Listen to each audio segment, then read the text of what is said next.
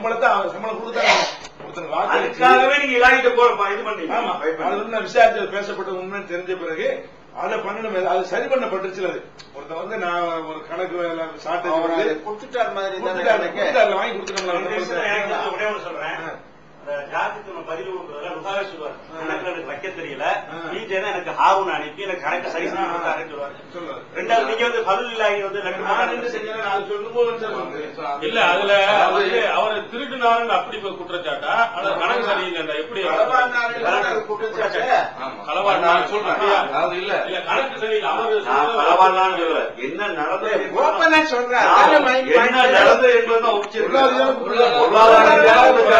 பொருளாதார பொருளாதாரத்தை சரியா வைக்கல என்பது பொருளாதார ரீதியான குற்றச்சாட்டு இல்ல நீங்க தெளிவா களவாடினாங்கிறது வேற நான் கள- நான் நான் நான் களம் நான் களம்ங்கிற வார்த்தையை நான் யூஸ் பண்ணல.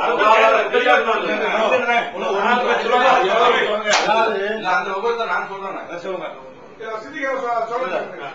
அளவு இல்லைங்கிறது மேட்டர் இல்ல. ஓப்பனா பேசுபடி பேச முடியாது. அவருடைய வார்த்தையில கருத்து சொல்றாங்க எனக்கு வழங்கல. அதாவது இந்த மாதிரி ஓப்பனா இருந்து யாருக்கும். எனக்கு என்ன? அதாவது. எனக்கு வந்து அகமது ரஹ்மான். சுத்தமா.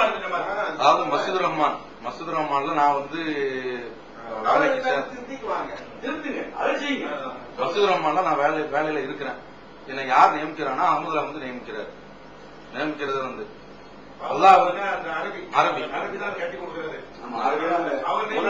அவர் நியமிக்கிறாரு. நியமிக்கிறதுல வந்து இப்போ அப்பதான் வந்து தமுமுக இந்த பிரச்சனை வந்து விவகாரம் வருது. அப்ப வந்து என்ன சொல்றாருன்னா அகமது வந்து எனக்கு என்ன சொல்றாருன்னா மொத்தமா வருவாரு. வந்துட்டு என்ன சொல்றான் ஒரு பத்து மாச சம்பளம் வந்து தருவாரு. அதுக்கு ரெண்டாவது பள்ளிவாசல் காசுலையும் எங்கிட்ட தான் தருவார். எஸ்கேட்ட போயிட்டு எஸ்கேட்ட இருந்து வராரு. அப்ப இந்த தாமுக பிரச்சனை வரும்போது அவர் வந்து பிஜேவை சந்திக்கிறதுக்கு திரும்ப திரும்ப துடிக்கிறாரு. அப்ப நானும் இவர்கிட்ட சொன்னேன். அப்பதான் உத்தம பாளையம் சம்பவம் நடந்துச்சு. ஒவ்வொரு கட்டத்துல வரும்போதும் இவர் உத்தம பாளையம் சம்பவம் நடந்துச்சு. அவங்க நாம பார்க்க முடியாது. அப்படின்னு இப்படி போயிடும்.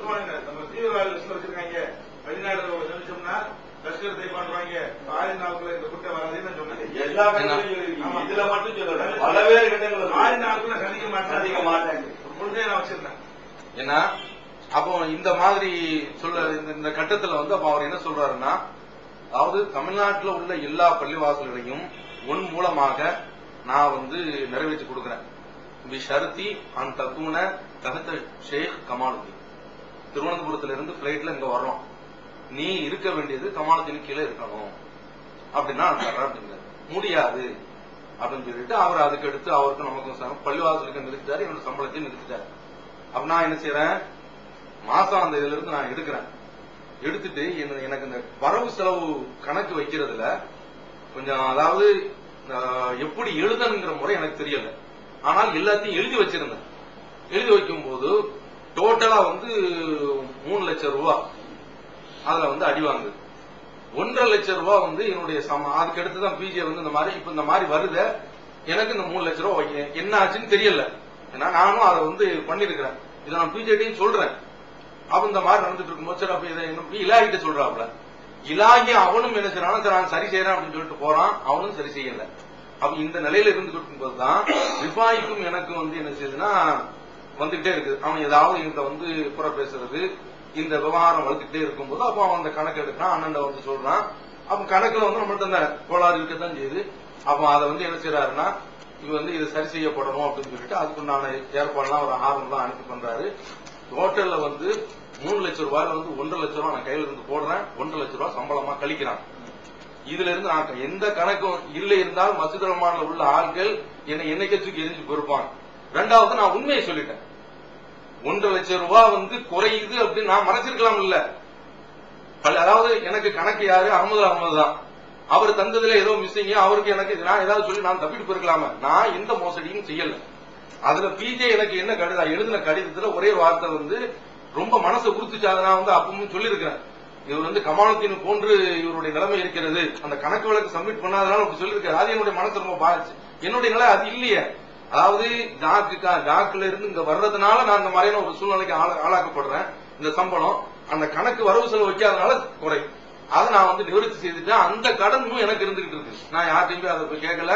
அது மாதிரியான ஒரு சூழல். நான் அதனால வந்து பொருளாதார ரீதியில எந்த விதமான மோசடியும் நான் இது வந்து செய்யல. நான் இப்ப என்ன சொல்றதுன்னா இங்க வந்து திரும்ப திரும்ப திரும்ப திரும்ப இதே பஞ்சாயத்து. நீங்க எவ்வளவு செலவு நிர்வாக செலவுலாம் நீங்க பாருங்க. இதுல நான் வந்து என்ன செய்யறேன்னா இதுல கொஞ்சம் நான் ஜமாத்துக்காக வேண்டி கொஞ்சம் நான் கொஞ்சம் தள்ளி இருக்கிறேன்னு சொன்னா அந்த ஜமாத்துல பிரச்சனை இருக்காங்கிறது என்னுடைய கோரிக்கை. அவர் எப்படி எடுத்துட்டு அவ்வளவுதான் நான் கொஞ்சம் கொஞ்சம் இருக்குமா? அர்த்தம் பிரச்சனை நிர்வாக திறமை என்று எப்படி நீங்க பொருளாதார குற்றச்சாட்டு சொல்லுவீங்க நிர்வாக திறமை எழுதுறது இல்ல அது சொல்லிட்டாரு நான் வைக்கல. அவரை மோசடிக்கிறாரு அடுத்தது சொல்லல நீங்க நீங்க நீங்க நீங்க வந்து அதாவது மிக தெளிவாக நான் ஒண்ணு சொல்றேன் வாசாப் இப்பவும் சொல்றேன். இப்பவும் நான் எந்த அளவுக்கு அண்ணன் மீது பாசம் வைத்திருக்கிறேனோ நான் அண்ணன்ட்டே பல தடவை சொல்லியிருக்கிறேன். அந்த அளவுக்கு லுகா மேல நான் பாசம் வச்சிருக்கிறேன் ஏன்னா லுகாவை என்னுடைய சிமு காலத்துல இருந்து அதாவது சிம்மு காலத்துல இருந்து எனக்கு தெரியும். அதனால அதே மாதிரி நான் இன்னொரு ஆள் மாமித் பக்கரி இவங்க எல்லாமே தலைவராக. எஸ் அலாவு சாரி உங்க அண்ணன் அலாமா? எஸ் அலாவுதீன். இந்த நாலு பேர் மீதும் என்னுடைய பாசங்கிறது தனி. ஏன்னா இந்த ஆரம்ப காலங்கள்ல இந்த நாலு பேருமே இருந்திருக்கிறாங்க. அதனால இப்பவும் சொல்றேன் நல்லா பொறுமானம் நீங்க நான் இங்க ஒண்ணு லுகா நீங்க இப்படி சொல்றீங்க இல்லையா? நீங்க இப்படி இப்படி ஒரு வார்த்தை சொல்றீங்க. ஏயா ஒதுங்கி போயிருக்க வேண்டிய அதான் நான் ஒதுங்கியிலங்க போனேன். நான் எதுலயுமே சம்மந்தப்படலைங்க. நான் பார்த்து ஒதுங்கி போனேன். இவர் எப்படி உங்கள்ட்ட சொன்னாருன்னு தெரியல. என்ன கூப்பிடக்கூடாதுன்னு சொல்லிட்டாங்க அப்படிலாம். அப்படிப்பட்ட வார்த்தையை நான் சொல்லவே இல்லை. இன்னும் சொல்ல வேண்டும் என்றால் அவர் கூட மக்கள்கிட்ட இருந்து வர்றதுதான் அவர் சொல்றாரு. இல்ல இல்ல இல்ல. நான் அண்ணன்டே போன போட்டு சொன்னேன். பாவன் அவன் அவன் படாத பாடு பட்டுக்கிட்டு இருக்கிறான். படாத பாடு பட்டுக்கிட்டு இருக்கிறான். அவனுடைய பாடு ரொம்ப மோசமா இருக்குன்னு. இது என்னன்னு இவங்க இவங்க இவங்க கராரா ஒரு முடிவுக்கு வர சொல்லுங்க. இது வந்து ச- இது இப்படி போறது சரியில்லை. இது சரியில்லாத முறை. நான் இந்த அவர்கிட்ட ஒப்பந்தம் அவரும் எழுதியிருந்தார். நீங்க ஒப்பந்தத்தை மீறி விட்டு ஒரே வாரத்தில் கொடுத்து விட்டு எல்லாத்தையும் பதில் எழுதியிருக்கிறேன். என்கிட்ட வந்து கேட்கிறவங்க ரெண்டு ஏரியா. ஒண்ணு வந்து பெரம்பு பெரம்பூரா பெரம்பு பெரம்பூர் போன்ல தான் பேசலாம். போன்ல பேசுறப்ப இல்லம்மா என்னால வர முடியாது வர முடியாத நிலையில் இருக்கிறேன். இது லோக்கல்ல தானே இருக்கீங்க. வர முடியாத நிலையில் இருக்கிறேன். நாங்க வந்து தலைமையில கேட்டுக்கிறோம். தலைமையில கேட்டாலும் கொடுக்க மாட்டாங்க. சரியா? ஒண்ணு. தலைமை கேட்டாலும் இது பண்ண மாட்டாங்க. ஒண்ணு. இரண்டாவது யாரு? டென்ஷனக்காரங்க டென்ஷனக்காரங்க வந்து உங்களை வந்து நிர்வாக ரீதியா இல்ல. நாங்க சும்மா பார்க்க வர்றோம். எங்களுக்குமா சும்மா பார்க்க? இல்ல சில விஷயங்கள் நாங்க உங்கள்கிட்ட கேட்கணும். அப்படின்ட்டு வர்றாங்க. வர்றப்ப வந்து என்னம்மா அப்படின்னு கேட்கிறப்ப உங்க டேட் என்ன பிரச்சனை? இப்ப டிசம்பருக்கு தர மாட்டேன்டாங்க அதுக்கும் தர மாட்டேன்டாங்க இதுக்கும் தர மாட்டேன்டாங்கிறப்போ முனீர் இருக்கிறார் இந்த சித்திக்கு இருக்கிறார். நான் உடைச்சி. உடைச்சி சொன்னா சித்திக்கு? என்னென்னு சொன்னா அதாவது எம்ஐ எம்ஐ சுலைமான அல்தாபி வந்தாங்க. இப்படி ஒரு ஆப்ஷன் வச்சிருக்கிறாங்க. நான் ரிசைன் பண்ணி கொடுத்துட்டேன். இது ஒரு பிரச்சனை முடிஞ்சிருச்சு. செய்திகள் நிஜங்களை பொறுத்த மாத்திரத்துல நான் அதுல குரான் அதிசய அடிப்படையில் தப்புன்னு சொன்னா நான் விலகி போடுறேன். ஏன்னா என்ன- எனக்கு வந்து அதுல கன்வின்ஸ் ஆக மாட்டேங்குது. நான் கன்வின்ஸ் ஆகணும். ஏன்னா இன்னும் இன்னொரு வார்த்தை அண்ணன் அண்ணனையும் சேர்த்து சொல்றதுனால. இந்த இது செய்தி நிஜங்களுக்கு அவன் கூப்பிடுறாங்கிறதா கூப்பிடுறாங்கிறப்ப அண்ணன் தான் சொல்றேன். அவர் பேச சொல்றாரு நல்லா தான் இருக்கான். அவனை விட நீங்க நல்லா தான் பேசுவீங்க. இப்படியே ரொம்ப கேஷுவலா ரொம்ப ரொம்ப கேஷுவலா சொல்றப்ப நல்லா தான் விட அவனை பெருசா இதா பண்றான். நீங்க கூட நல்லா பேசுவீங்கம்மா நீங்க பண்ணுங்கம்மாங்கிறாரு. அதே மாதிரி தவறு வர்றப்ப சுட்டி காட்டிருக்கிறாரு உடனே மெசேஜ் அனுப்பிடுவார். உடனே மெசேஜ் அனுப்பி இந்த இப்படி இருக்குது. இது இதை பண்ணுங்க. அப்படின்பாரு நான் உடனடியாக அந்த தவறுகளை வந்து சீர் செய்திருக்கிறேன். அப்ப குரான ரிசிபென்ட் அடிப்படையில் தப்புன்னா நான் இதை விடுவேங்க. இதை டிமாண்டா வச்சிருக்கிறாங்க. இன்னும் நான் அவங்ககிட்ட பேசல. இந்த விலைக்கு சொன்னனே தவிர இதை தவிர நான் வருவேன். என்ன கூட்டத்துக்கு போடுங்க. நீங்க வந்தா அப்படி நான் யாருக்கிட்டையும் போய் சொல்லவும் இல்லை. யாரும் என்கிட்ட அப்படி கேட்கவும் இல்லை. யாரு கேட்கவும் இல்லை. யாரு கேட்கவும் இல்லை? நீங்க சொன்னீங்க. பெரம்பூர் கிளையில இருந்து அந்த மாவட்ட நிர்வாகி ஒருத்தர் போன் பண்றாரு. போன் பண்ணி இந்த மாதிரி போன மாசம் இருபத்தி ஆறாம் தேதி ஒரு டேட்டு தெரியுமா? முபாரக். முபாரக் தான் பேசுறாப்புல. போன். பண்ணி இந்த மாதிரி பாக்கரன் டேட் வேணும் அப்படின்றாரு. பாக்கரன் டேட் வேணும் அப்படின்றப்ப நான் சொல்றேன் இல்லைங்க அவர் ரொம்ப வேலையா இருக்காப்புல பிஸியா இருக்காரு. அவரு வந்து இப்போதைக்கு வர முடியாது அவரால. அவர் பிஸியா இருக்காருன்னு சொல்லி சொல்றப்போ அவர் சொல்றாரு இல்ல நான் பேசிட்டேன் அவர்கிட்ட அவர் வந்து நான் ஃப்ரீயா தான் இருக்கேன். நீங்க தலைமையில தகவல் சொல்லிருங்க.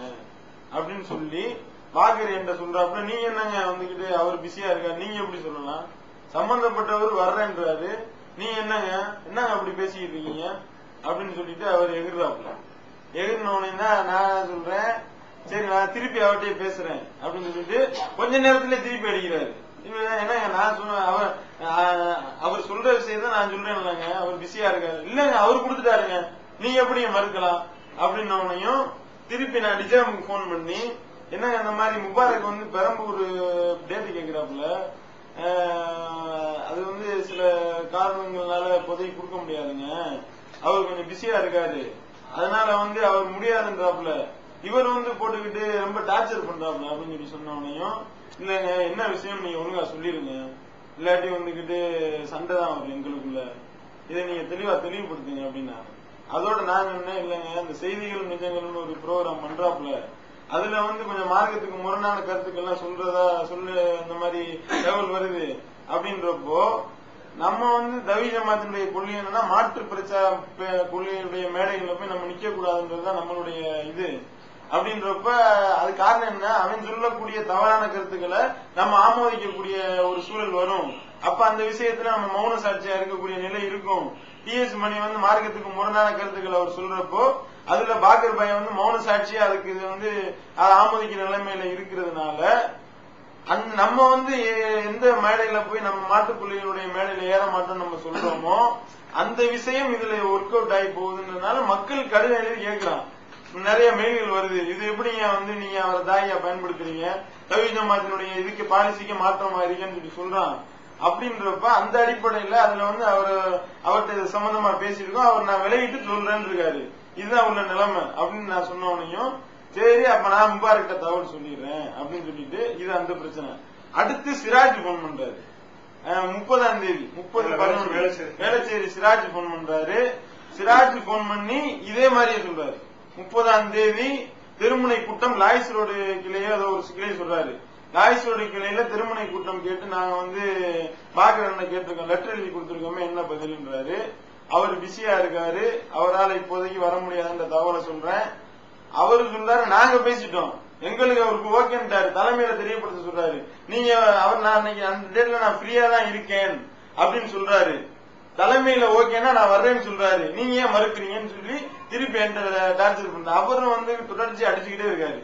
அஞ்சு நிமிஷம் நான் போன எடுக்கவே இல்லை. அதுக்கப்புறம் நேரம் கழிச்சு ஒரு அரை மணி நேரம் கழிச்சு எடுத்து எடுத்து என்னங்க இது அப்படின்னா பாக்கர் பாய் சொன்ன பதிலே தான் சொல்லியாச்சு இல்லைங்கன்னு சொல்லி சொல்றப்ப அவர் இதே சொல்றாரு. என்னங்க அவ- அவர் வந்து நான் ஃப்ரீயா இருக்கேன்றாரு. நீங்க எப்படி மறுக்கலாம்னு அத இதே செய்திகள் நிஜங்கள் மட்டும் சொல்றேன். சொல்லி அவர் வந்து நாங்க யாரு கேட்டாலும் நான் பிஸியா இருக்கேம்மான்னு அவர் சொல்றேன்னு இருக்காப்ல அந்த பதில தான் நாங்க சொல்லுவோம். அவர் டேட் தானே நீங்க அவர்கிட்ட போய் கேட்டுக்கங்க. நான் என்ன நான் சொன்னேன் சரி நான் என்ன கேட்கறேன் திரும்புங்க. ரெண்டு மேட்ரு வந்திருக்குல்ல இங்க ரெண்டு பேர் கேட்டிருக்காங்க. இல்ல இல்ல கொஞ்சம் நீங்க நீங்க தயவு செய்து நீங்க சும்மா இருந்துருங்க. நீங்க கொஞ்சம் சும்மா இருங்க. நீங்க சொல்லுங்க. ஏன்? ஏன் இது பண்றீங்க? ரொம்ப ஆவேசமா வர்றீங்க. நீங்க உங்க கருத்தை சொல்லுங்க. நீங்க வேணா திருப்பி அவர் சொல்லுமா சொல்லணும் இன்னும் என்னென்ன பிரச்சனை சொல்லிட்டோம் பிரச்சனை சொல்ல இதே மாதிரி என்ன கேட்டிருக்காங்க. இல்ல, திருப்பி திருப்பி திருப்பி திருப்பி கேட்டுங்க பேசுங்க நீங்க பேசுங்க. பேசுங்க. நான் நான் என்ன கேக்குறேன் நான் சொன்னா இல்லன்னு யார்கிட்ட கேட்கணும்? நான் சொன்னேனா இல்லையாண்டு? நீங்க என்ன பண்ணணும்? சேபராணி எனக்கு போன போகணும் சேபராணி போன போட்டு அண்ணா இப்படி வந்துகிட்டு இருக்குண்ணே என்னமோ நீங்க டேட்டு கொடுத்துட்டா போன் பண்றானு என்னென்ன விஷயம்னு என்கிட்ட கேட்கணும்? நான் அண்ணனுக்கு போன் போடுறேன். இப்படிலாம் வந்து இவங்களுக்கு பதில் சொல்லிவிட்டு அண்ணனுக்கு நான் போன் பண்ணி சொல்றேன். அண்ணன் செய்புராயனை பந்தா பறக்கிறானுவோ? அண்ணன் செய்புராயன் தர மாட்டேங்கிறான் கொள்ள மாட்டேங்கிறான் என்கிட்ட வந்து நிக்கிறானுவோ? நான் வந்து அவனுக்கு அவன் என்னென்ன செய்வான்? நான் சொன்னான்னு உங்கள்கிட்ட போனை போட்டு நான் சொல்றேன். நீங்க என்ன செய்யணும் இது என்கிட்ட கேட்கணும். ஏன்னா இப்படி சொன்னீங்களே நீங்க என்ன வரம்பு மீறீங்களே அப்படி நீங்க என்கிட்ட கேட்டீங்கன்னா அது வேற. நீங்க எப்படி அதை வந்து கன்ஃபார்ம் பண்ணிக்கிட்டீங்க? நான் சொல்லியிருப்பேன் எப்படி கன்ஃபார்ம் பண்ணிக்கிட்டீங்க? பிள்ளைங்க ப- பசங்கள்ட்ட உள்ள பலகீனம் தெரிஞ்சுக்கிறீங்க. என்ன தெரியுமா செய்வான்? இப்ப அல்தாபிக்கு தெரியும். என்ன அல்தாபி? நாங்க வந்து பேசிட்டோம்ல. நீங்க நீங்க எஸ்ன்னு சொல்லுங்க நாங்க பேசிட்டோம்லாமா? நம்ம வந்து என்ன சொல்லுவோம்? ஏய் தலைமையில கொடுக்க மாட்டாங்கப்பா போடா அப்படிமோ. உடனே என்ன செய்வோம்? அல்தாபிட்ட நாங்க வாங்கிட்டோம். நீங்க எஸ் சொல்லுங்க அம்மா நீங்க எஸ் சொல்லுங்க அம்மா என்னன்னா உங்களை வந்து இது நிறைய பேர் மாத்தி